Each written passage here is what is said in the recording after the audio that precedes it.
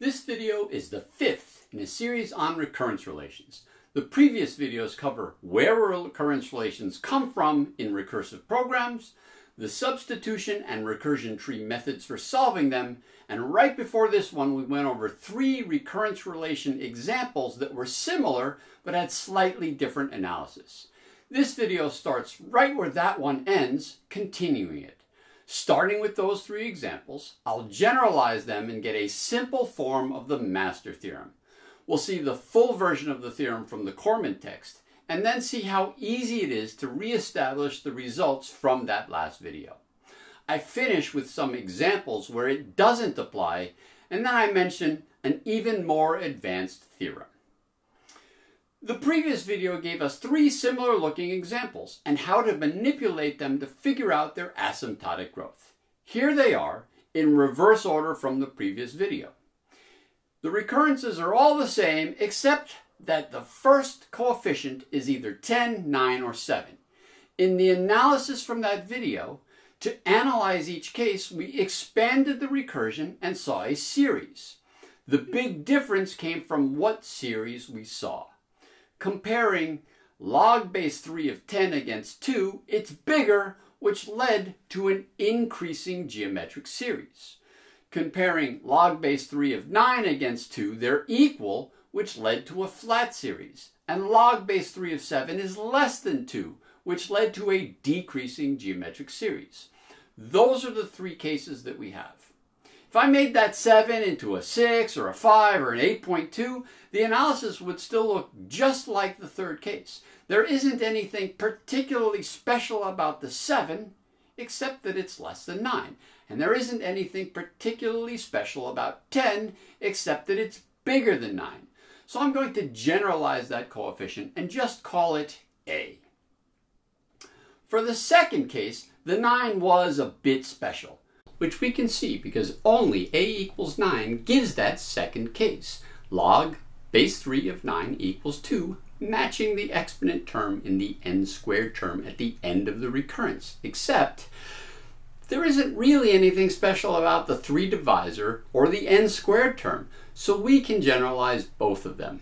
I'll call the divisor b, and that n squared term I will make into n to the c. And what if you multiplied that n to the c term by some different coefficient. For all cases, it just multiplies through and gets swept into the theta growth term. Nothing really changes. We don't really know what one unit of this function represents anyway. Multiplying that function by 60 might just be converting the answer from minutes into seconds if it's time. The order of growth will be the same. So now, if we want to redo that first example by comparing log base b of a against c, we can now see which case we're in. And the case we're in tells us the growth of the function. Here, compare log base b of a, which is log base 3 of 10, which is 2 point something, against 2. 2 point something is bigger, so the recurrence has runtime n to the 2 point something, or n to the log base 3 of 10. What happens if that function at the end gets smaller? With the linear term, we get that same order of growth. Even with just a constant term, we get the same order of growth. We never even look at that constant d coefficient. How about if we take it to an extreme and just drop it all together? Well, then our series just goes away.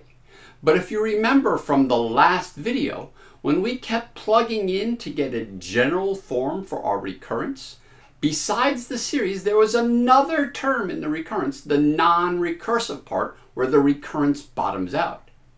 It turns out that as long as that last function is bounded by a polynomial smaller than n to the log base 3 of 10, we can just ignore it. We get the same order of growth from that previous video analysis where the recurrence bottoms out, giving us the same order of growth as the geometric series did.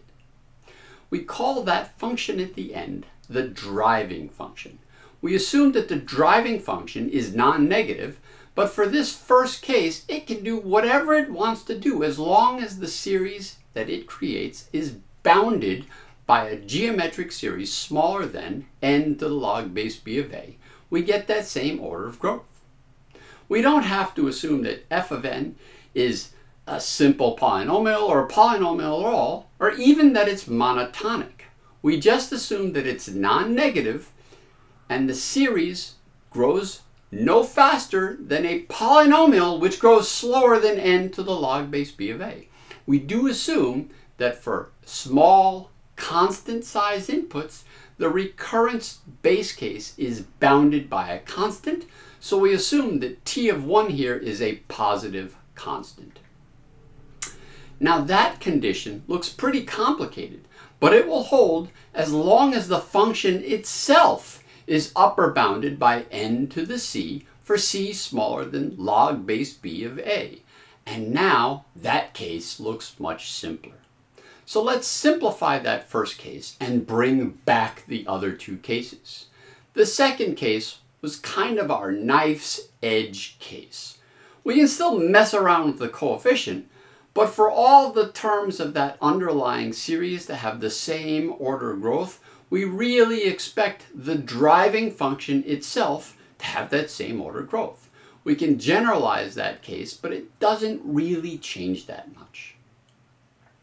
Looking at our third case, that was the case when the n to the c term grew so quickly that the first term in the series was the largest, and the resulting decreasing geometric series grows like the first term. We can generalize that too, as long as the driving function isn't too weird. I'll come back to define that.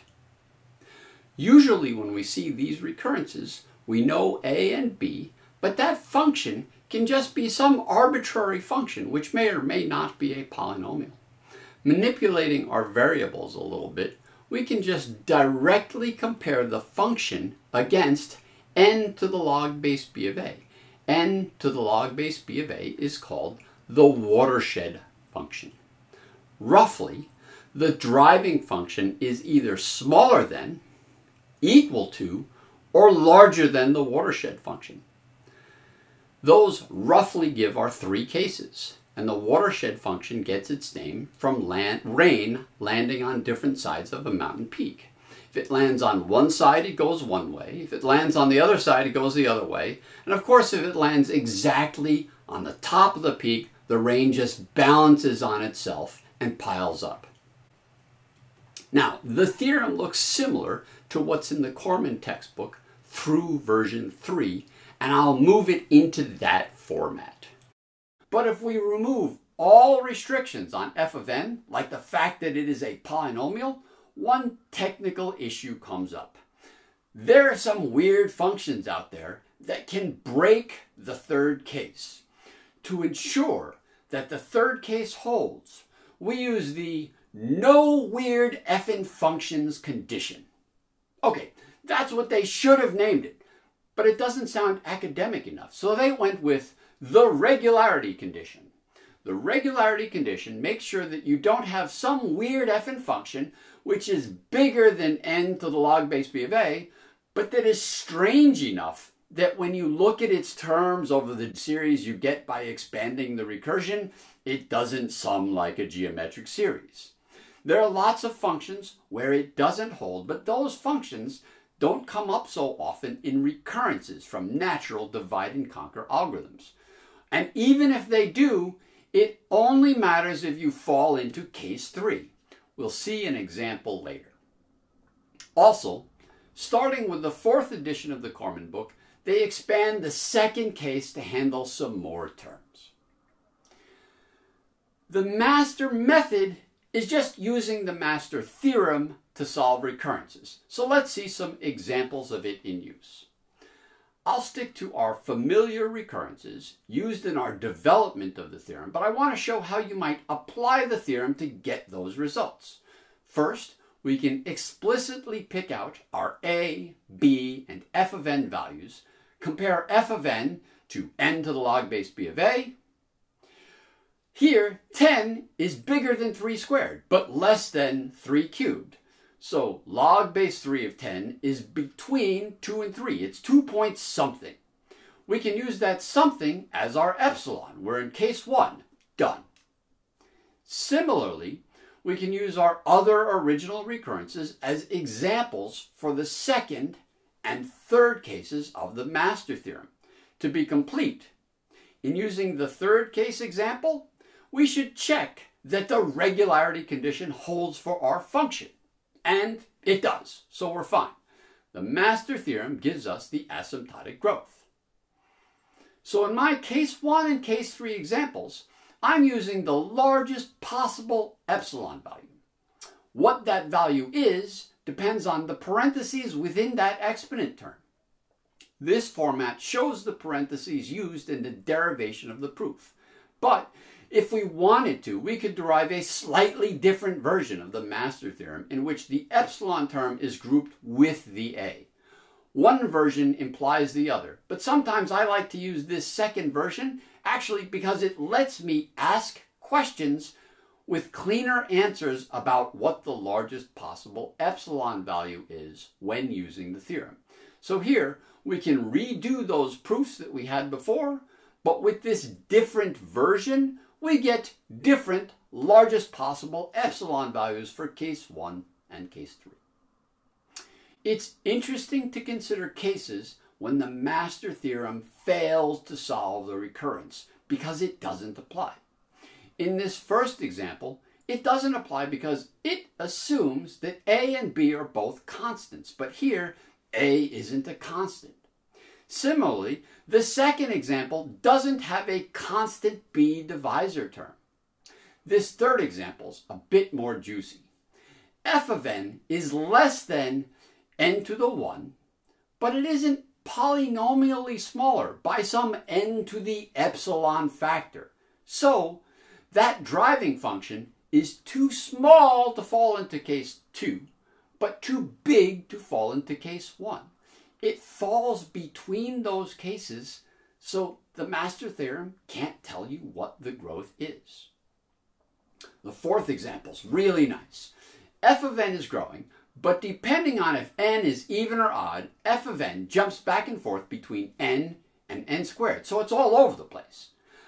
n to the log base b of a is n to the 0, or just the constant 1, and f of n is always at least n, so it grows faster than n to the 0, the watershed function. So it should fall into case 3. But we can see t of n doesn't really grow like f of n. We can see that by considering a large n value that's twice an odd number. Because n is even, f of n is n. But plugging in one level of the recursion, n over 2 is odd. So t of n over 2 is bigger than n squared over 4, which is also bigger than our f of n value. So even though f of n is n, t of n is at least n squared over 4, and that doesn't fit case 3.